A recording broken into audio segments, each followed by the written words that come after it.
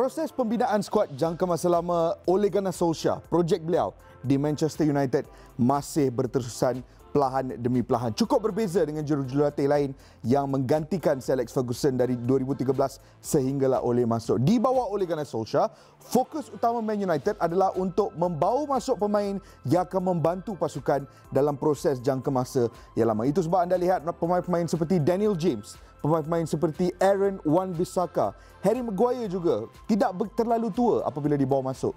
Dan terbaru sekali Facundo Pellistri dari Uruguay dan juga Ahmad Diallo, pemain muda yang dibawa masuk daripada Atalanta. Dan pemain muda seterusnya yang kini dilihat sebagai sasaran utama Man United menurut Fabrizio Romano sendiri adalah pemain yang bernama Moises Caicedo, pemain yang mewakili pasukan Independiente di pentas bola sepak Ecuador. Dan untuk episod Match Stats kali ini, kita akan melihat apa kualiti dan keistimewaan yang dimiliki oleh Moises Caicedo dan mengapa Man United sedang bertungkus lumus untuk memastikan pemain ini akan menyertai mereka pada bulan Januari yang akan datang. Pendekar, tapi jiwa masih berlegar. Ibarat seorang saudagar yang mengejar. Sejarah silam yang telah pun dibubar jadi benda pertama yang saya buat selepas saya melihat rumor daripada Fabrizio Romano di Twitter adalah pergi ke YouTube dan search Moises Caicedo untuk melihat apa kualiti beliau di atas panah. Dan benda pertama yang saya nampak adalah jaringan gol beliau menentang pasukan Flamengo di pentas bola sepak uh, Copa Libertadores. Dan Flamengo ni bukan calon-calon pasukan. Dan Moses Caicedo menjaringkan gol yang begitu cantik hasil gerakan berpasukan dalam perlawanan tersebut. Dan selepas itu saya juga banyak menghabiskan masa untuk melihat aksi-aksi beliau sepanjang tahun 2020 dan juga 2019. Apa yang boleh kita rumuskan adalah Moises Caicedo ini adalah pemain yang beraksi di posisi nombor 6. Memainkan peranan yang begitu penting kerana menjadi hubungan, menghubungkan bahagian defensif dan juga bahagian serangan menjadi individu yang mengawal tempo perlawanan dan juga menjadi individu yang begitu penting dalam situasi transisi apabila melakukan recovery dan mahu melancarkan serangan semula. Tetapi apa yang menarik juga tentang Caicedo adalah jika kita lihat pecahan posisi beliau untuk pasukan Independiente sepanjang tahun 2020 kita melihat beliau digunakan dalam pelbagai posisi yang berbeza paling kerap sebagai defensive midfield. Tetapi apabila berlawan dengan pasukan-pasukan yang bukan pasukan gergasi ataupun pasukan-pasukan yang kurang daripada pasukan gergasi kita boleh lihat beliau banyak digunakan sebagai central midfielder sebagai right central midfielder ataupun left central midfielder. Tidak kira beliau adalah antara pemain yang cukup selesa dengan penggunaan kaki kiri dan juga penggunaan kaki kanan. Satu lagi perkara yang menarik adalah beliau turut pernah digunakan sebagai centre back uh, kerana individu ini cukup selesa dengan kawalan bola. Kita akan melihat apa fungsi beliau di atas padang untuk pasukan Independiente plus seterusnya.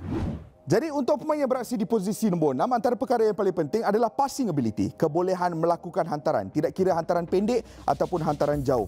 Dan ini sebenarnya kebolehan yang paling penting jika kita mahu menganalisa kemampuan Moises Caicedo sebagai seorang pemain. Kalau kita lihat musim ini di pentas Liga Pro Ecuador, pasukan beliau Independiente mempunyai kawalan bola yang tertinggi secara purata 67% ball possession on average jauh berbeza hampir 10% berbeza dengan pasukan yang berada di tangga kedua iaitu Universidad Católica dan perbezaan ini menunjukkan kemampuan pasukan tersebut dan individu yang memainkan peranan yang begitu penting dalam kebolehan pasukan ini melakukan hantaran dan mengawal bola dengan selesa adalah Moises Caicedo. Kerana Moises Caicedo mempunyai passing accuracy yang begitu menakjubkan 93.3% untuk seorang pemain yang berumur 19 tahun yang meletakkan beliau antara pemain yang paling selesa melakukan hantaran di pentas Liga Pro Ecuador. Dan jika kita ambil passing accuracy ini, kita bandingkan dengan pemain-pemain tengah Man United yang lain, kita boleh lihat perbezaan kualiti yang ada di sana.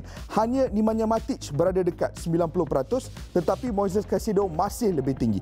Paul Pogba hanya 83.5%, Scott McTominay hanya 86%, Fred hanya 87%. Bruno Fernandes kita tak cerita kerana sebagai pemain attacking midfield, beliau banyak melakukan hantaran-hantaran pertahanan berisiko, passing accuracy sering kali bawah. Tetapi sebagai pemain yang nombor 6, Moises Caicedo, majoriti hantaran beliau bukan saja ke bahagian hadapan, tetapi hantaran-hantaran yang memecahkan garisan lawan.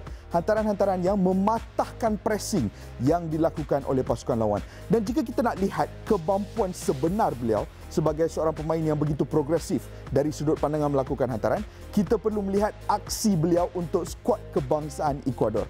Betul, hanya berumur 19 tahun tetapi telah pun melakukan empat penampilan untuk skuad kebangsaan Ecuador.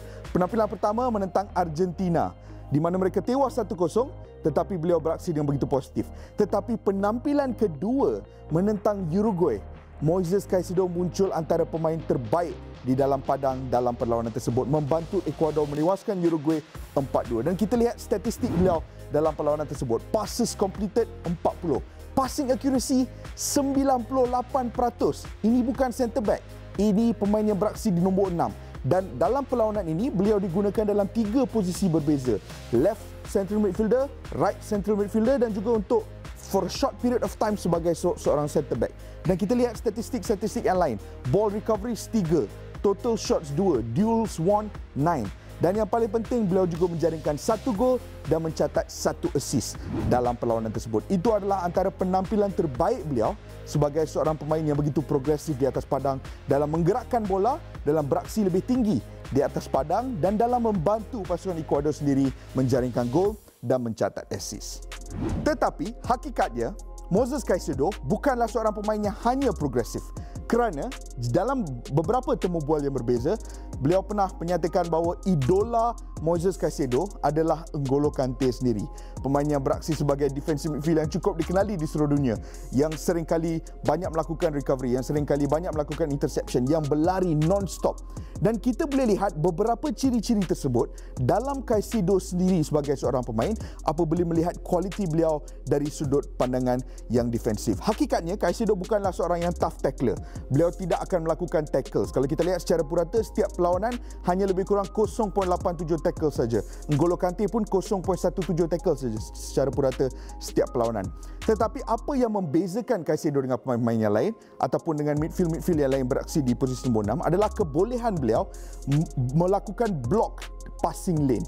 Beliau akan menggunakan kebijaksanaan di atas padang untuk membaca uh, dan juga melakukan prediction terhadap passing-passing yang mungkin dilakukan oleh pasukan lawan dan menghentikan passing-passing challenge apa, ataupun passing-passing channel tersebut untuk memastikan hantaran-hantaran pasukan lawan tidak dapat dilakukan dengan sempurna. Kita lihat secara purata interceptions per 90 3.1, ball recoveries per 90 6.27, duels won per 90 8.7 tetapi sliding tackles beliau hanya 0.8 secara purata. Ini adalah perbezaan yang cukup penting untuk kita take note of kerana beliau jarang melakukan tackles tetapi interceptions dan juga ball recoveries tetap tinggi. Itu menggunakan seorang pemain yang mempunyai kebijaksanaan di atas padang. Kalau kita nak lihat kualiti utama beliau dari sudut pandangan defensif, kita perlu melihat perlawanan di antara Independiente menentang LDU Quito di pentas bola sepak Ecuador bulan Oktober lepas. Dalam perlawanan ini, Moises Caicedo dual swan 14 Total long passes 14. Banyak melakukan hantaran jauh dari posisi yang bawah. Ball recovery 10 dalam satu perlawanan. Interceptions 5 dan biarpun hanya ketinggian lebih kurang 1.74 ataupun 1.78 meter beliau memenangi perebutan bola di udara sebanyak dua kali dalam perlawanan tersebut sekaligus menjadi antara individu yang paling penting sepanjang 90 minit dalam proses membantu pasukan Independiente menewaskan LDU Quito dalam perlawanan tersebut. Jadi cukup jelas bahawa Moises Caicedo mempunyai kualiti dari beberapa sudut pandangan yang berbeza. Tidak kira ofensif, tidak kira defensif.